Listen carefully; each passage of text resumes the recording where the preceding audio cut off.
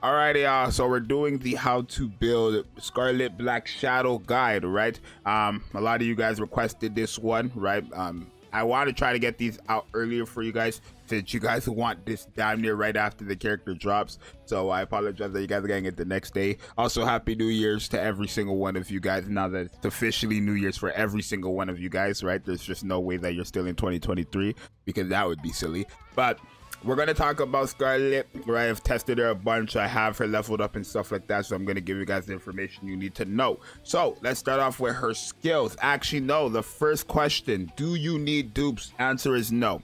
Right? She's a character who is surpassing damage from my Red Hood at core two, full overload gear, and she's just much more invested in my Scarlet. My Scarlet with no dupes is hitting harder than that Red Hood, right? Or either on parts. It depends on the situation. It's either as hard or harder. So you don't need dupes for the Scarlet. No, you never need dupes for these crazy, crazy DPSs. The only reason why you would want dupes is if you want the wallpaper, if you want wanted to hit even harder. So if you do want one of those two reasonings, I guess, go for the dupes. If you don't, you don't need to go for dupes. I know there's three banners out. It would be crazy to just go on the Scarlet banner when you have Modernia and the Step Up banner as well. So decide to summon wisely.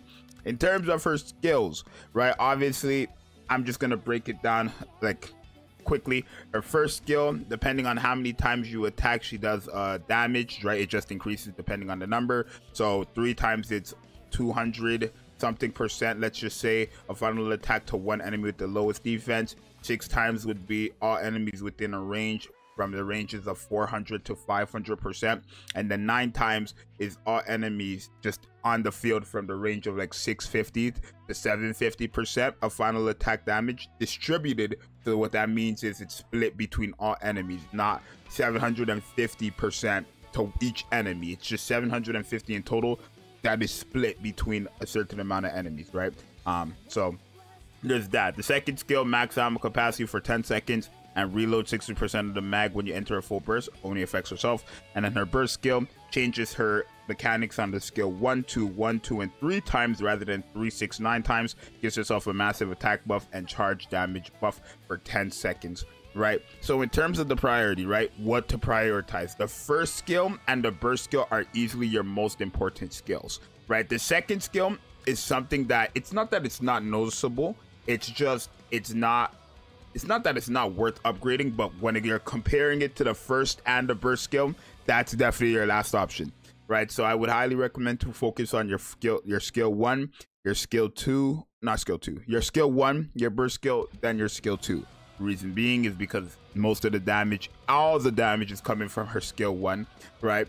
Then the burst skill is what's helping you get even more damage from the skill one and then the skill two is just helping you i guess shoot even more with the ammo capacity and the reload. But again depending on the team which we're going to talk about in a bit you don't really that skill is not really that crazy. It's good it's good but like you'll see when the second year right?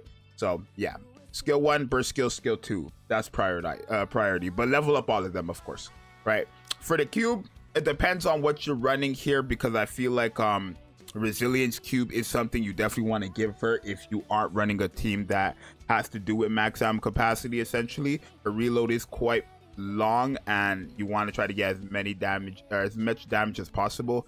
I don't know. I feel like the charge speed cube isn't necessary because of the delay. Um it's still going to be um 0.3 seconds charge time so she's still going to be shooting fast right? Uh the charge speed is not really with 0.3 seconds the charge speed is not really making that much of a difference right? Um at least i when i used it i don't notice it right? Let me show you guys what it looks like without the charge speed and with the charge speed. So this is what it looks like without the charge speed uh, cube. And then this is what it looks like with the charge speed cube doesn't really like it's as you can tell because the per not percentage but because the time is so low it's not making a difference realistically. So yeah your best your best bet is probably just just the resilience cube or the Bastion cube Bastion cube? Bastion cube? I think it's Bastion cube Um, I still don't know which one it is, Bastion or Bastion. Let me know down below in the comments. But yeah, either resilience, right, which gives you the reload speed that I feel like she does lack, and then obviously getting back the bullets as well, especially with the second skill is going to be very helpful. But the charge speed, I personally find it to I find it to be a waste because it's not making a difference. Clearly, right? If the seconds are 0.3 seconds, it's not going to make a difference by having what mine is level four, so I'm only getting a 1.59% charge rate. Like it's not making a difference. It's kind of just wasting it if you want me to be genuinely honest with you guys. So yeah, I would recommend either Resilience or Bastion. You could have the uh, charge damage one if you want it, right? The Onslaught Cube if you really want it, but then it's like you can get that off Overload. Speaking of Overload, you should Overload gear this character. That's a must. In terms of the sub effects, you definitely want attack percent on all four piece. Reason being is because again, her first skill skills off a final attack, which means every single attack buff this character can get from overload, from the other units, any type of attack buff this character gets will all be implemented into this damage she outputs. So having attack percent on all three piece or all four pieces, my bad, is mandatory, right? It's mandatory. I would say get one line of max ammo capacity because if you are gonna run her with the bunny girls, right, you're definitely never gonna have to reload, right? I have this with my bunny girls on top of her skill two. She never has to reload, right? She never has to reload with the bunny girls, right? And if you guys want, I can show you guys that at the end of the video. Um, but yeah, I would say four piece attack on everything, one line of max ammo capacity if you're running her with the bunny girls, just so that you never have to reload. Um, and then also you probably want to go for charge damage. You could go for the elemental effect as well, the elemental elemental damage though as well. You can get a line or two for that, but your main thing should be attack percent. Then you can mix and match between max ammo capacity you can mix and match between charge damage, charge speed if you really want it. I don't know. Maybe the more charge speed you have throughout the overload, maybe it'll make much more of a difference. But I feel like 0.3 seconds is such a short amount of time that because of the delay with this character, you're not even going to see a difference. That's just what I think, right? I'm testing. But attack percent, and then mix and match between elemental damage dealt, um, max ammo capacity, charge damage if you want. Crit rate, crit damage, not necessary, but if you want it, by all means. But mainly max ammo capacity, elemental damage, charge damage, and then guaranteed have the attack percent. That's really how it should be. In terms of her best partner, as I said this entire video, essentially, Bunny Girls, Noir, right? This is a very good character for her right? Um, any type of damage buffer is going to be good. So realistically, the schoolgirls, but the bunny girls make it that she never has to reload. That's a pretty good feat as well. Um, and then also because she has a lot of AoEs happening, Blanc giving all enemies the damage taken increased debuff is actually helping out this Scarlet in a big, big way, right? Anytime you enter the full burst. So Bunny Girls is definitely a great option. Again, the Schoolgirls, fantastic option when it comes to dealing damage, right? This Scarlet's going to be hitting hard, whether she's hitting with a core or she's not. And because, again, all her skills on her, or all her damage output on her skill one does affect, um, or is based off final attack, the attack buff that someone like Naga gives to all allies is going to be implemented there. And then obviously the damage dealt buff that, what's her name, Tia gives to, um, this character right here, Tia gives to the Scarlet is definitely going to be very, very helpful there, right? Um, there's other team comps that I'm thinking of, but it's not necessarily like a must run with her because at the end of the day she's just a damage dealer. What you would run with any of your other damage dealers is what you would run with her. But i feel like the most notable ones are going to definitely be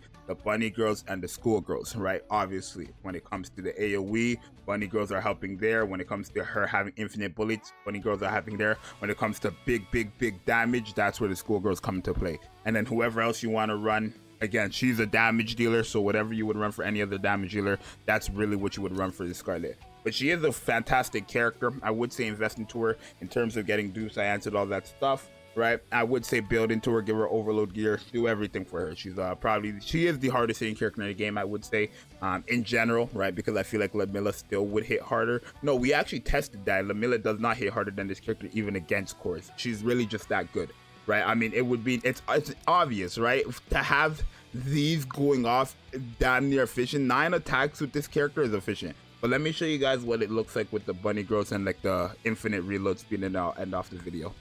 Alrighty, so we're going in. And I did not mean to say infinite reload speed, infinite reload. I realized I said infinite uh, reload speed there.